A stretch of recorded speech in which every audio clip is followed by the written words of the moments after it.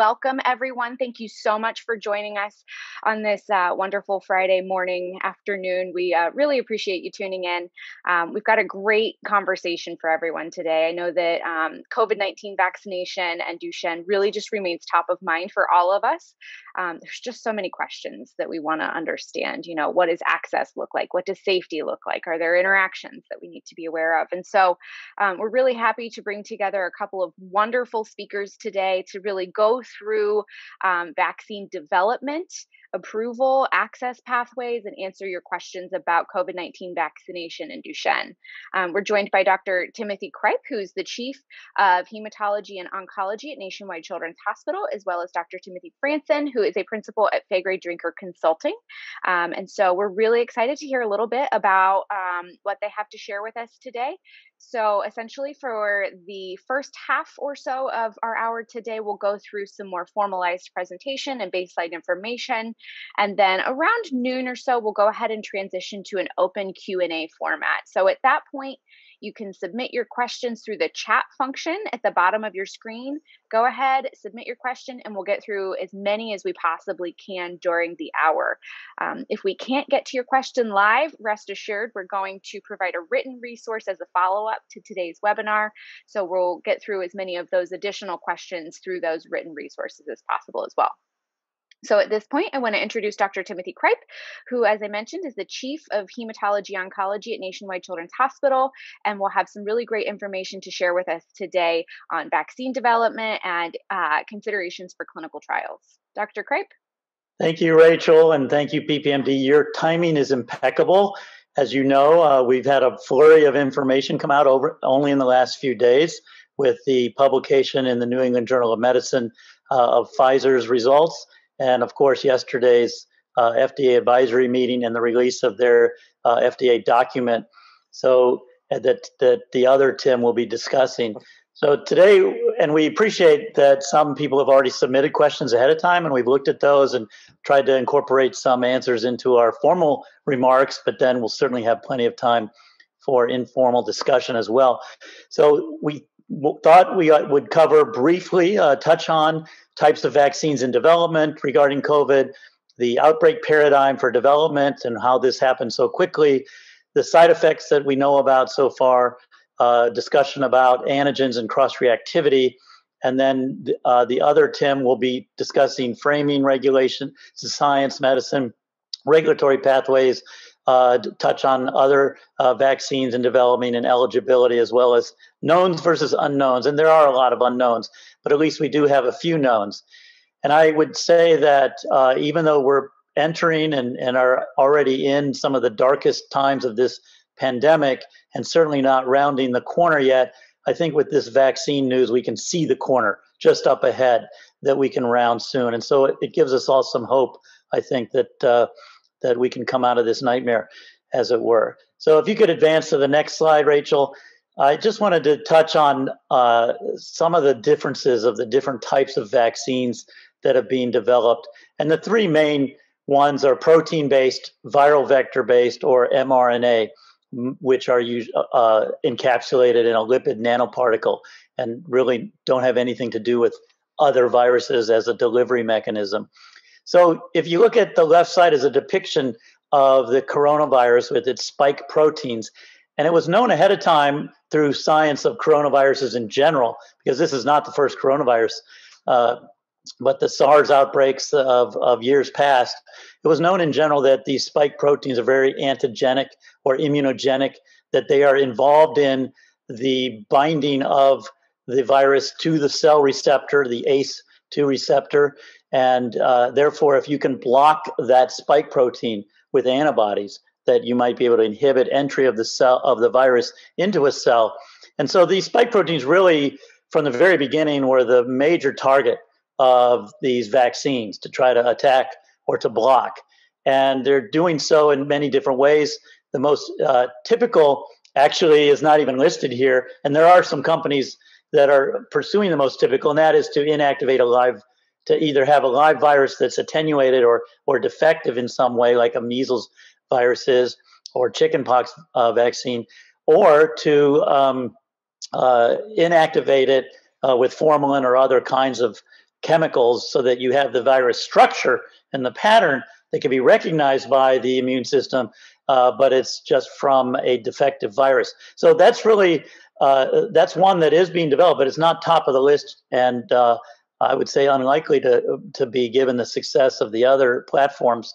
Uh, but so that's the first one that's that's listed here, uh, or, or the, that's one that's not even listed, an inactivated whole virus. So none of these. The point I'm making is in the bottom right corner that none of these actually contain a live virus. Uh, you know, there are live viruses. Uh, vaccines out there like the Sabin polio virus I mentioned, the measles virus, the chickenpox virus, and those and and the nasal version of the flu virus.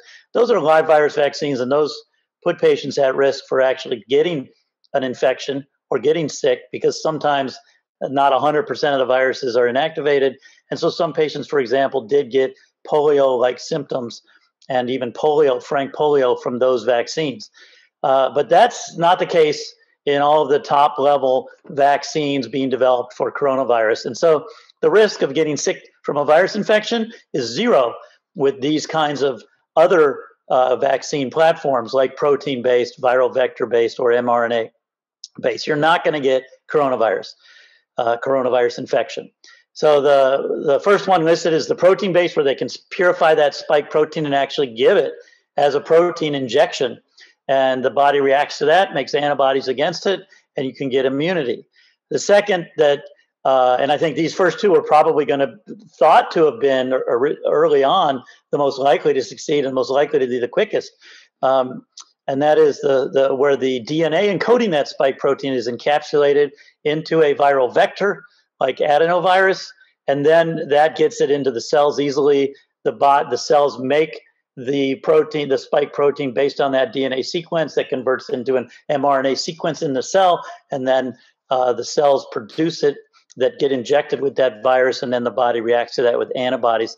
And then the third, the mRNA, which is obviously, as everyone knows, been the most rapid and the most uh, appears to be the most successful, is where the act, just mRNA instead of DNA is is synthesized for that spike protein, and uh, you put that into the cells, and that mRNA is immediately translated into protein, and then the body reacts to it. So you can see all three of these are along the same lines of recreating that spike protein in the body and having the immune system react to it. What it means is someone who's immunosuppressed or perhaps on high dose steroids, for example, might not have that appropriate reaction with the antibodies. And so there's unknowns there about how uh, what drugs someone might be on that suppresses their immunity because we do depend on the body's normal immune response to make a reaction against the spike protein and therefore create immunity against the virus. Uh, so let's go to the next slide and talk a little bit about how it was done so quickly, in part just to reassure people that it was done correctly. Uh, so mRNAs can be made rapidly when the sequence is known. And so there's been some articles out about there out there that have said, "Hey, we've had this vaccine since you know the day after we knew about coronavirus." And to some extent, that's true. In other words, as soon as the scientists from China who isolated the virus were able to sequence it and give us the genetic code, we were able to just say, okay, here's the sequence for the spike protein. So now we could synthesize that on a machine and make these mRNAs uh, that, that make that spike protein. So mRNA platform uh, was uh, is very rapid because as soon as you know the sequence, you can create that original virus sequence. Um, and in this case, the platform was already developed, so uh, but it just hadn't been really tested yet. It's so it's sort of a plug and play as a platform. You say, well, we're going to encapsulate, we're going to synthesize messenger RNA, and we're going to put it in a lipid nanoparticle and deliver it. And that was already teed up. And in fact, there was some of the companies that are involved now had were ready to do that because they'd been developing it for the prior SARS outbreak, and they were ready to test a platform like that and uh, the timing was perfect. They were all, in fact, set to uh, do a, a, mock run of of this kind of platform this spring when the coronavirus uh, epidemic uh, pandemic broke out, and so they quickly pivoted and said, "Let's not do these old coronaviruses. Let's do this new coronavirus. Plug in the sequence for this mRNA and get it going." So having that just the timing was impeccable uh, we were also fortunate i think for that to be in place and that technology to have been developed to that point when this when this came about. And and so besides the, the technology being sort of a plug and play and being primed and ready to go, there is a, a an outbreak paradigm for vaccine development that I've shown in this uh, image, where the traditional paradigm up top takes many many years, and you have to identify what's the right sequence and we're still working on vaccines for herpes virus, for example, that because none of them have worked that well. Uh, but in the outbreak paradigm, uh, it's recognized that hey, there's an emergency. We need to do this more quickly, uh, and so we need to uh, compress the timeline.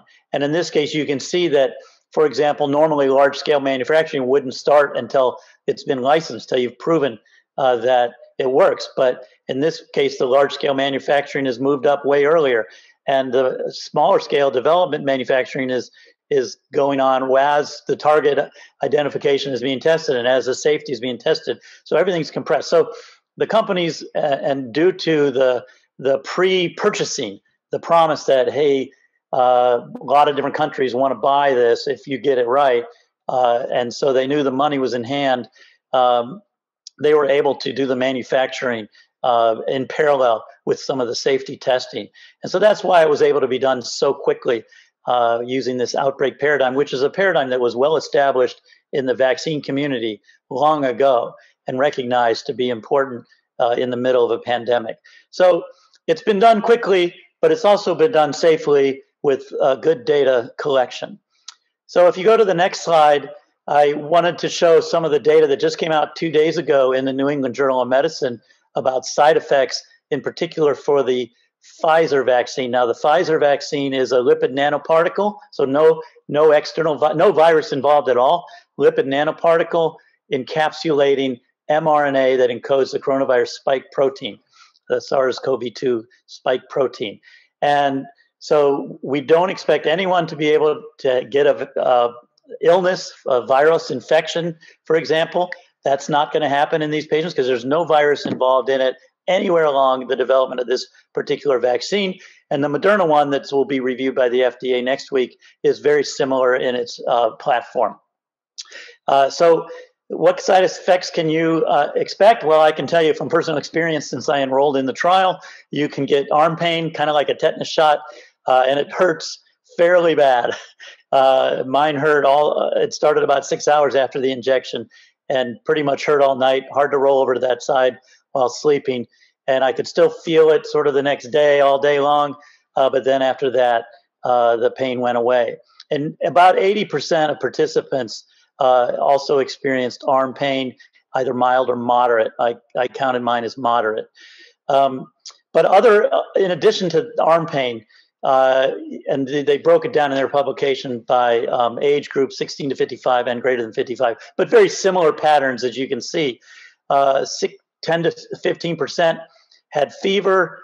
Again, in the uh, the color shade is mild is green, and blue is moderate, and orange is severe. And there were none that were grade four, which would be very severe.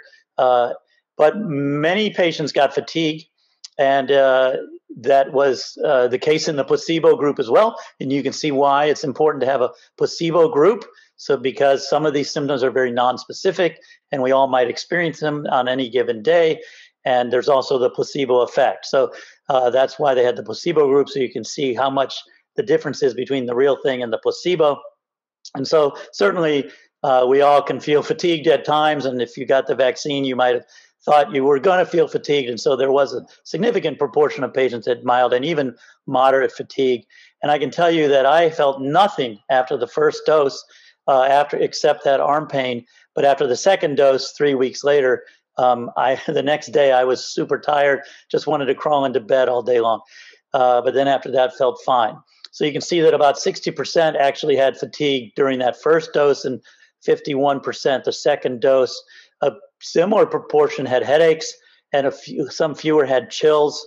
Now these are due to the body reacting to the uh, protein, to the lipid nanoparticle, and uh, that's why I think when you start getting to the chills and beyond, the amount in the placebo is, is even less, and that's more specifically due to the vaccine. Uh, skipping over, some patients had more severe uh, reactions, vomiting, diarrhea, but uh, a small percentage.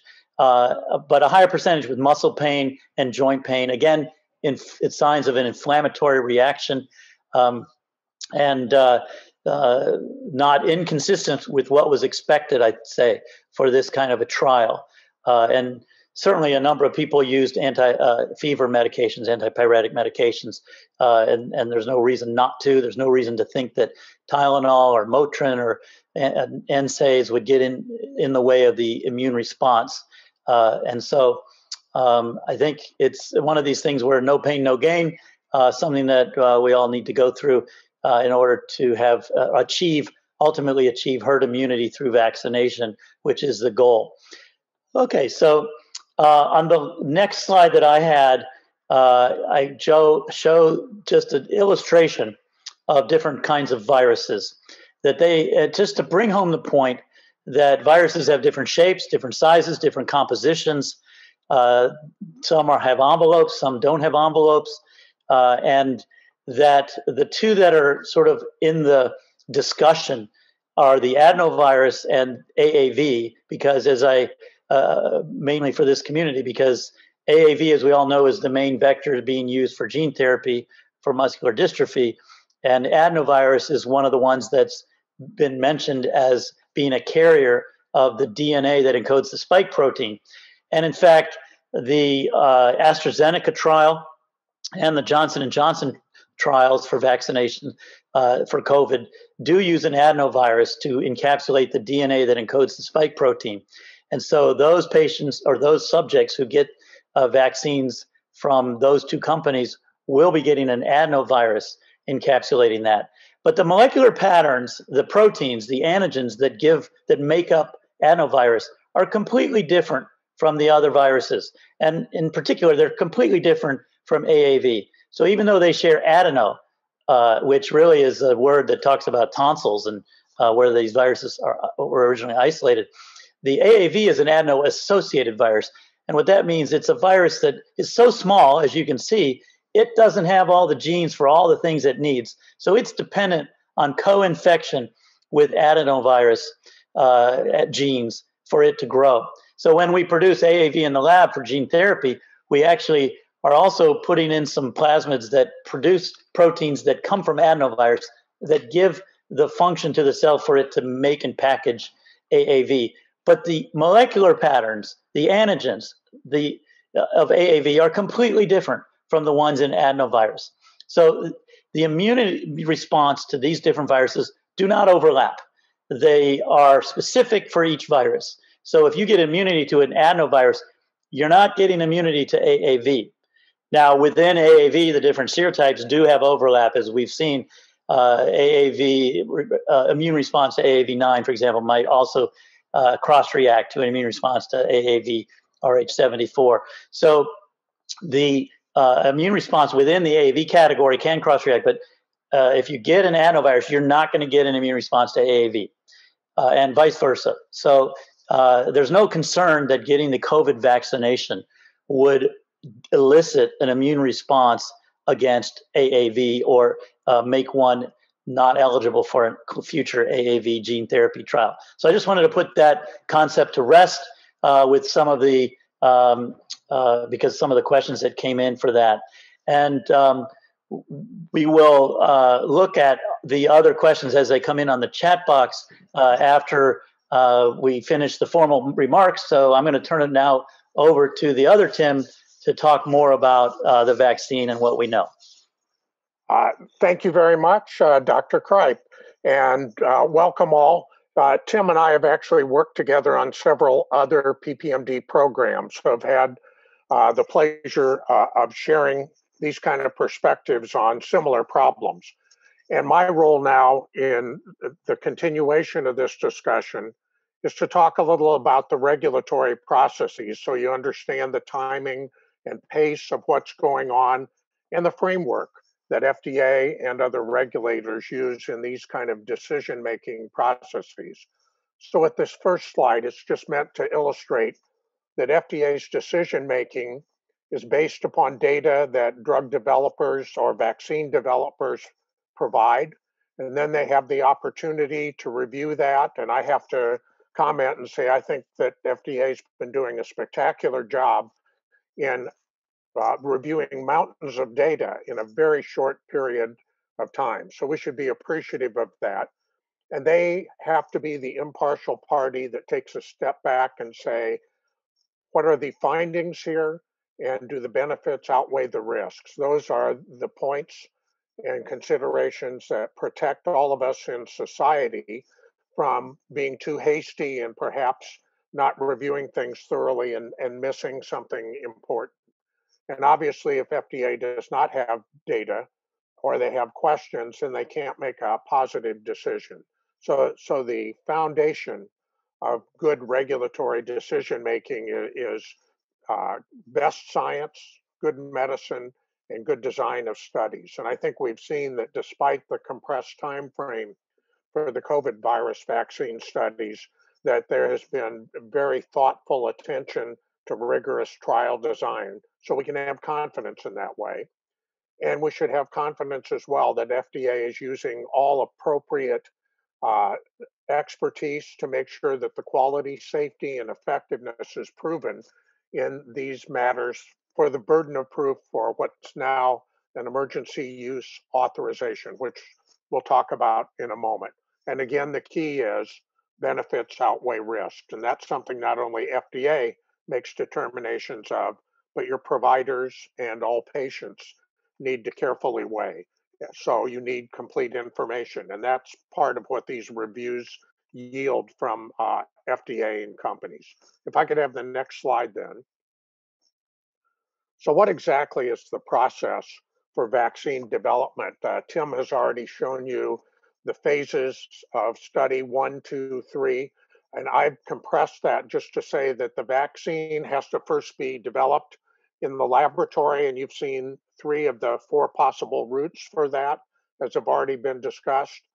And then once one has a preparation that can be appropriately injected, clinical trials are conducted. And uh, it's been overwhelming to look at uh, the work that has been done just since last February when these activities commenced. Actually, in January of this year is when several of the companies began looking at the messenger RNA, mRNA approaches. So, eh, eh, not even within a calendar year, we've gone from recognizing a disease to producing vaccines to conducting clinical trials and bringing them to FDA. So, truly remarkable. And with the submission of information from the trial sponsors to FDA, they then do internal reviews of the safety, the effectiveness, and the quality that is, the chemistry, manufacturing, and control used for the vaccine. So we know of consistency and production and in its potency and purity and so forth.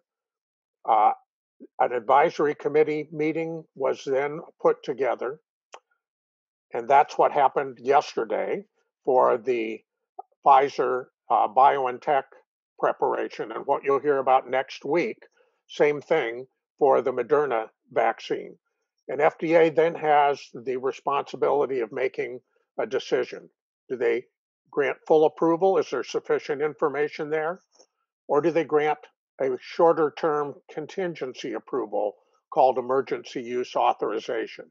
The latter is what's occurred, and I'll explain that in a, in a moment and why this emergency uh, authorization is appropriate in these times. It was actually something anticipated way back in 2013 when people were looking at bioterrorism risks and things and thinking about how one may need to expedite vaccines. So, with a positive decision by an advisory committee, that's a recommendation to FDA. FDA still has to make an independent decision. They take the advisory committee uh, practice experts like Dr. Cripe into consideration and then have to uh, make their determination. After that occurs, then the Center of Disease Control, uh, their advisory committee on uh, immunization practices, ACIP, then does, and in fact, in this case, has already done the majority of review and said if there's limited supplies, who should get it first and why? And that then leads to a final distribution decision Uh, as many of you have probably read, large pharmacies like CVS, Walgreens, and so forth, who are now uh, appropriately uh, empowered to provide immunizations. So, physicians' offices and pharmacies, you can be assured, have the appropriate training physicians, pharmacists, nurse practitioners, and others to be able to provide the administration. So, the question is then the who's, what's, when's, and how's of uh, vaccine access. And that's something that is an evolutionary process. For the next slide, please, uh, Rachel. So, what is this uh, EUA? And it was uh, granted, as I said, about seven years ago. When you boil it down, it's a temporary approval saying there's enough for us to conclude there's satisfactory benefit and risk for the information we have. So, why not a full approval? And the answer is uh, under the processes defined for the coronavirus pandemic, there are several allowances for making a shorter term determination of emergency use. So it's available then to those in need with the process ongoing to complete studies to get a full approval. Right now, there's two months of safety data after the administration of these vaccines that allow one to conclude that these kind of short-term risks have been quantitated and they're more than acceptable, as you've already heard in Tim's discussion. Uh, in, in, addition, the bar for uh, success in uh, the efficacy or effectiveness of the vaccine was actually set in the initial uh, guidelines from FDA as 50%. So we're seeing with this 90 plus percent for the vi- virus vaccines now available, that's an incredible uh, overshoot to the benefit of the public. And that allows the kind of decision making that FDA is considering now. That with full approval, you really need to understand what are the longer term safety findings, if any. We have reassurances based on what we've seen already that the majority of known or anticipated uh, bad effects from the vaccines have been observed and are, as you've already heard, sore arms, headache, sore uh, uh, fever, and so forth. And the other thing for full approval is how long does this last uh, in terms of protection? Does it protect for a year, two years? As we're all familiar with influenza, usually the seasonal differences and the persistence of the antibodies stimulated gives us about a year of protection. We're hoping for more here, but we don't know. Uh, so that's the purpose of observing through to a full approval. Next slide, please. And so, as you've already heard, and I know the the concerns of this community are: what about the boys? Will they qualify, and what kind of information do we have? So, in all of the findings uh, or all of the trials that have been conducted, the minimum age has been 18, except for the Pfizer uh, BioNTech vaccine, which studied individuals age 16 and 17 as well. I want to qualify that, and that, that was actually a topic of hot discussion at the FDA Advisory Committee yesterday among the experts. That while there was information about uh, individuals age 16 and 17, it was very limited. I think there were about 50 people in the active arm and 50 people in the placebo control arm who were age 16 or 17, and that's compared to 40,000 in the overall trial. So while it's encouraging and no one saw anything of distress in that younger age set, we really don't have a huge amount of experience to guide our expectations in that population. And then for the other vaccines, kind of the leading five by Western companies, they all are looking at age greater than 18 and Tim's already explained the basis for what their uh, vaccine uh, production of uh, antibodies is stimulated by. Next slide, because we want to make sure we have plenty of time for Q&A. So that uh, discussion yesterday at FDA was quite interesting for those of you who viewed it or read the uh, reports on it. There were comments about safety and effectiveness or efficacy, and all of that was quite favorable in terms of the short term findings and also in terms of uh, the uh, likelihood of predicting longer term continued favorable profile. There, there were discussions primarily about uh, whether there would be unanticipated safety findings. There were also, conversely, some very interesting comments about we don't want to limit the access to this unduly. So let's be thoughtful about what we know, that is the proven safety and efficacy, and not let that outweigh theoretical risks that we haven't seen any evidence that they will in, in fact occur. So, with that, uh, once FDA takes their final action, which may be within the next few days, according to the uh, Secretary of uh, Health and Human Services and the FDA Commissioner, then the final determination by CDC's uh, uh, Immunization Practices Committee will take place, and doses may become available as early as uh, next week. So the initial amount of doses available are approximately 3 million. We can expect if similar proceedings occur next week with Moderna, that uh, amount will go uh, up significantly. And uh, that other trials that are still ongoing, we just need to see what the data from them shows. Preliminary evidence suggests a similar amount of 90 plus efficacy uh, on, on these. And I see there are some questions that are popping up about safety, and we can get to those in the uh, discussion uh, eh, for the Q&A. Uh, for the next slide, and we're getting close to the end here. So the question anyone would obviously have is, what, what's my risk? What's my child's risk? Uh, what about the boys? How do we calculate that? Who's in the first group? Who's in the second group?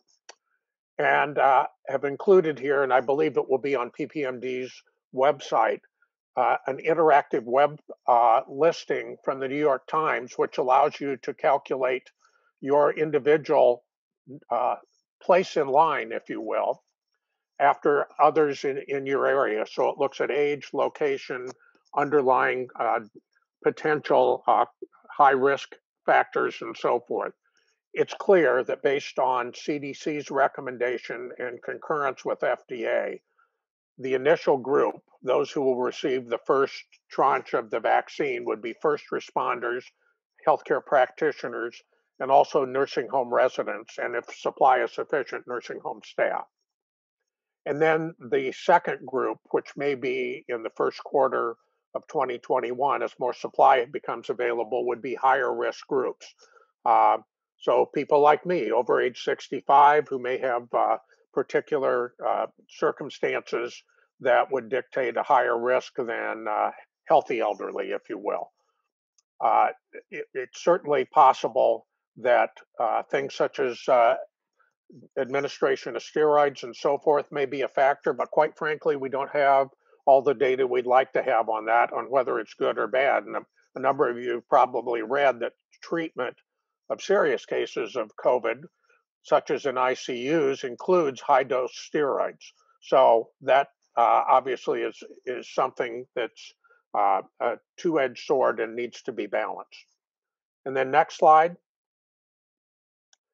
So what are the knowns and unknowns? Well, we know about the near term efficacy and safety, including allergic reactions up to two months post exposure. You may have seen in the newspapers that based on the uh, United Kingdom already starting these uh, administrations of the Pfizer vaccine, that there have been a, a, few what are called anaphylactoid reactions or somewhat serious uh, uh allergic reactions, but they've been very few.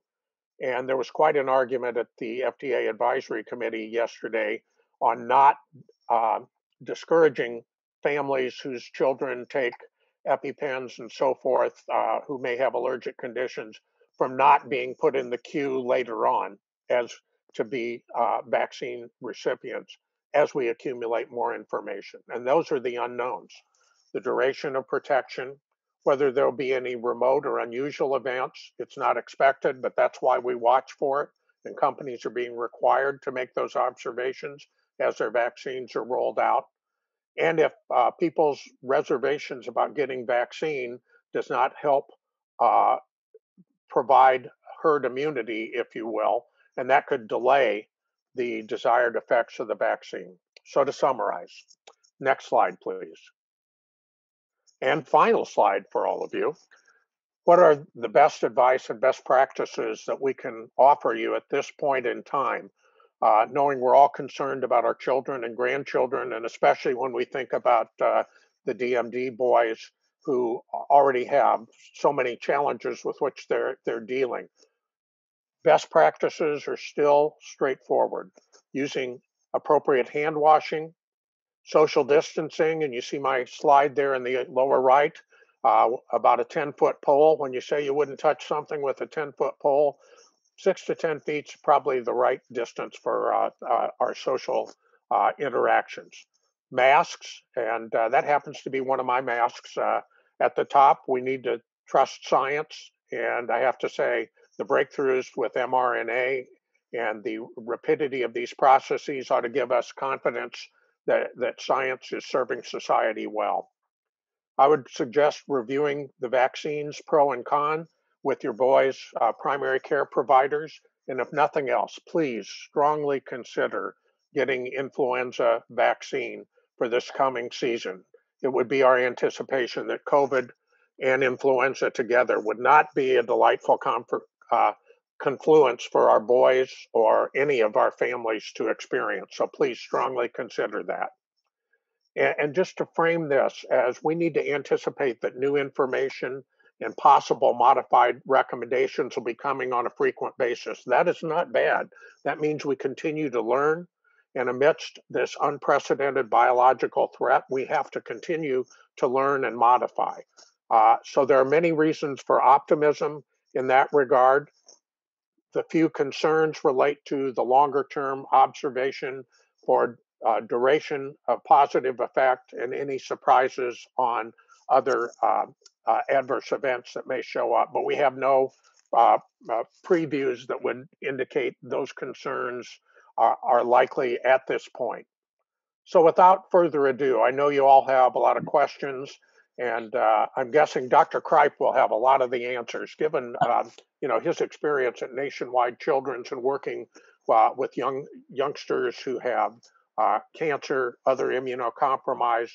We're looking forward to working all with all of you, not only now, but ongoing uh, as these things uh, come forward. We're excited to continue to work with PPMD to provide best information.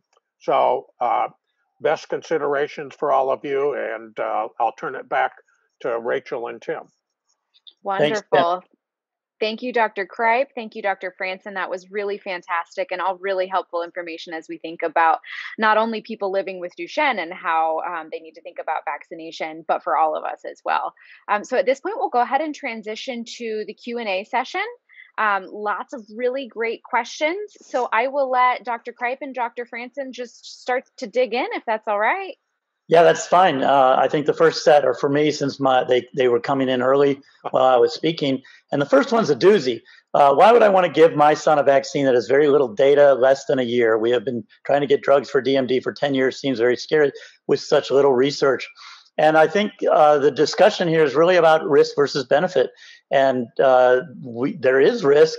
We saw there are side effects. We don't know the long term effects. But I think there's every reason to believe that it will be safe long term, knowing about the science behind it.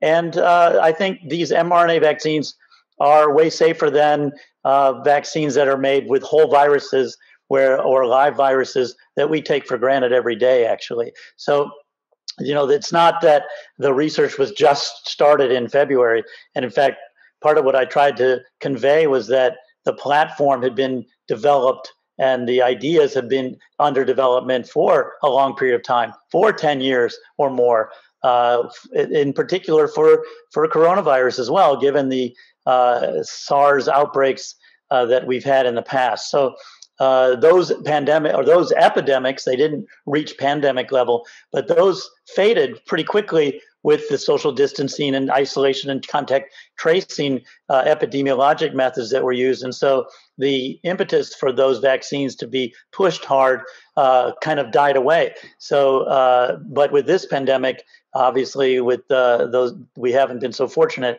And so getting this vaccine pushed um, it has been more important. So there is a lot of research backing it, but this was the first time an mRNA vaccine had been used, and uh, especially on this broader, wider scale.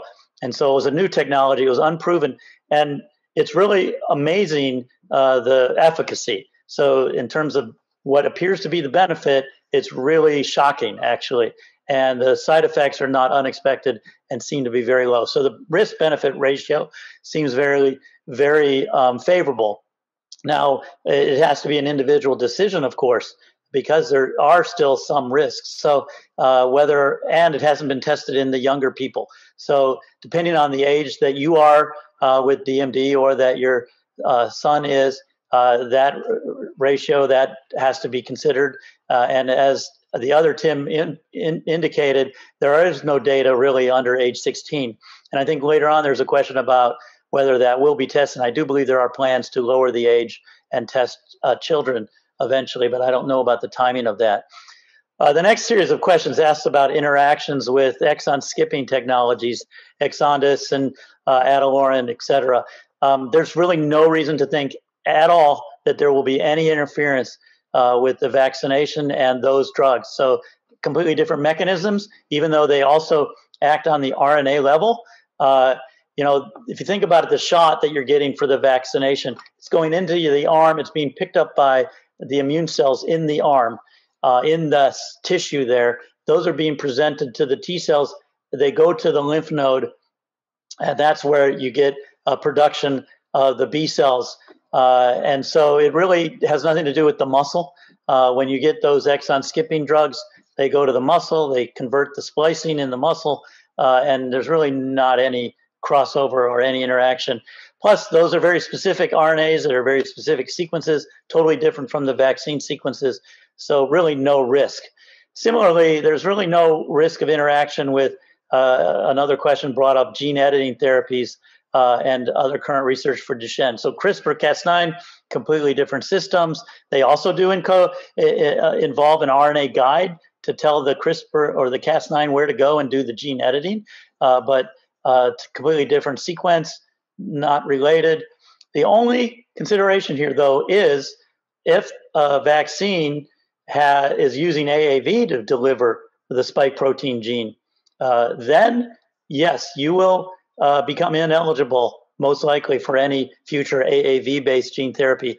And I looked at a list this morning of about 165 vaccines that are being developed uh, th- around the world, and there is one out of Boston, Massachusetts General that's working with Avexis actually to use an AAV platform to produce get the body to produce that spike protein. And so while that might become very effective as a vaccine, that would be one that would interfere with the uh, gene therapy effort. So I would uh, avoid that one uh, for sure. So um, another question uh, wants to know is once I receive the vaccine, is it possible for me to unknowingly carry the virus and still pass to someone else? And no, this is the, these vaccines do not have a, they're not a virus. They're uh, engineering your body. They're they're basically hijacking your body cells and and really only the cells in, that are the immune cells that are in the tissue in the muscle. They're hijacking those to produce the spike protein of coronavirus so that you can get an immune response against it. But there's no virus involved. So you're not getting a virus infection. You're not going to pass a virus infection. And even the ones that encapsulate with the adenovirus, uh, those are defective. They're not replicating. They're just being used as a shuttle, basically a delivery vehicle to get the, in that case, the DNA into those cells in your arm. So there's no risk of you passing an infection to anyone else. Um, Another question asks about being immunocompromised with steroids for long term. We don't know the answer to that, what the impact that will be. I can tell you from our work in cancer, we do vaccinate cancer patients with the flu, even while they're on uh, um, chemotherapy every year, and they still get immune responses. So I think the the relatively lower dose steroids chronically are unlikely to interfere with the generation of a robust immune response, but that has not been tested, so we don't know that. Uh, so I would I would say it's uh, uh, only time will tell, studies will tell, uh, but um, uh, it won't be harmful uh, to be on those, but it may not be as efficacious. that's a possibility. Uh, so then uh, someone asked, how long do these side effects last on average? Uh, how um, uh, and and uh, in the in the trial we had to report on our app every day for the first couple weeks any symptoms. So they have those data, and then it was weekly thereafter unless we got symptoms. Then more often, uh, and in the paper that just came out of New England Journal, they basically said most patients got these reactions within one to two days, and then they subsided shortly thereafter. Was the the, the term so? Uh, whatever that means uh, means to me that these were very transient. I've heard other anecdotal stories of of people also having reactions, but taking Tylenol or, or Motrin or something, and then having those reactions go away. And and so I think very short lived has to do with just the initial reaction of the shot uh, and again, it can happen at both times. We did didn't. I failed to mention that uh, the schedule of the vaccines are different. So the Pfizer one, which is a lipid nanoparticle, not a virus, is three weeks apart, so 21 days. The uh, Moderna is 28 days uh, apart, and then there are. I think the AstraZeneca one is a single dose. Um, uh, and then someone else asked, could you reclarify which are which? So the lipid nanoparticles that don't have any virus at all are the Pfizer and the Moderna. Uh, uh, the two that have adenovirus, again, not AAV, adenovirus that encapsulates the DNA, so it's a DNA vaccine, are the AstraZeneca slash um, Oxford virus uh, vaccine and the Johnson and Johnson. Uh, and then, uh, as I mentioned, there's 165 being developed, but those four are sort of the top ones, uh, the quickest that have made it the quickest. But uh, the modeling that I've seen actually suggests we won't reach herd immunity, that is 60 to 70 percent of the population uh, being immune until a year from now, uh, if then. So I think there will be other vaccines that come on the market and that get looked at and that might become available uh, depending on how far down any given individual is on the list to get the current shipments. And so it's like it's possible that there are other vaccines that will be improved, approved, and that you might have access to those before you might have access to the ones that are uh, being talked about right now. Um, I'll so I'll give you a chance to take a breath, Tim. Uh, Great. Uh, those, those are wonderful points. I, I can address a few of these things quickly, but first let me apologize to those who are concerned about me referring to DMD boys. I, have actually had the privilege of working with a number of the adult members, and, and this is a personal quirk for me. I still call my 41 year old son my boy. So uh, I do apologize for that. There was nothing disparaging meant. Uh, on the masks, uh, there was a question about the Danish study that had been in the uh, Annals of Internal Medicine. And uh, I would just highlight that the majority of studies would indicate that mask wearing is appropriate. It's not perfect and it's not going to be 100% prevention, but short of all of us uh, wearing scuba masks around, uh, I think it's going to be very difficult to have other barriers. And it does have positive effect, not perfect, but positive. Second uh, point, which is unrelated, is asking about whether trials will be done in others under age 16. And as uh, I showed you earlier, the first five in the queue are looking at 18 and above. However, Moderna has started a trial looking at the age groups of 12 to 18. So that is ongoing. Whether it will go in further to uh, younger pre adolescents I, I think is hard to predict. And I know one of the questions asked, well, why aren't trials being done in those age groups? And traditionally, it's been uh, that one would complete vaccine or drug trials with adults before moving to younger ages. Uh, that's clearly changed eh, uh, over the past uh, for a number of drugs, uh, for oncology, for infectious diseases. But in the cases of, of vaccines, people usually uh, who are conducting studies would like to see results in adults before transitioning to younger age groups. So I'll, I'll stop there and I'm going to review some more of these questions because I can't read as fast as others. well, I think there's a question about. Um, uh, again, I th- uh, hopefully there, there, many of them are are similar. You know, and will this interfere? And can you clarify which which vaccines might get in the way? And so nothing will interfere with any of the RNA based treatments, uh, the exon skipping Uh, but the, the AAV vector being developed by Avexis and Mass General uh, as a COVID vaccine would interfere with future gene therapies. I, none of the lipid nanoparticle ones would interfere, and unlikely the adenovirus ones because adenovirus isn't really being used for the gene therapy and in muscular dystrophy, but it's possible it could be in the future. So uh, the other question I saw scrolling through was about the side effects in terms of allergic reactions. The is there a possibility of neurologic reactions and autoimmunity? And there, with any vaccine, those can happen. Very rarely, there was a report out of the Oxford trial, and that's why that got paused. The AstraZeneca trial got paused in the U.S. A report of a transverse myelitis in a, in a subject in the UK, and that's a neurologic autoimmune uh, likely phenomenon. But the relationship of that to the vir- to the vaccine is is unknown. Could be true, true, and unrelated. The person might have been destined to get that and happened to do so after that vaccine. When you're vaccine vaccinating tens of thousands of people, things happen. Similarly, the uh, if you were pregnant or planned to get pregnant, you were not supposed to sign up for the trial. Of course, there were a couple dozen who got pregnant after they got the vaccination, and so we don't know the outcomes of that yet. But um, time will tell. There's no reason to think it's going to cause a problem uh, with pregnancy, but uh, they were being very cautious. Similarly, they didn't know. That's why children, I don't think, were uh, included at the beginning because it was total unknown. Now that it's safe in adults, I think it's going to be safe to test in children.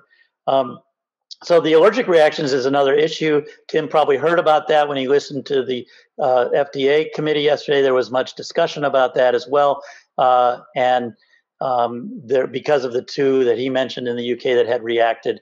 Uh, but again, a big unknown, uh, and uh, those might have been true, true, and unrelated, as we say. So, Tim, have you grabbed any others you want to address?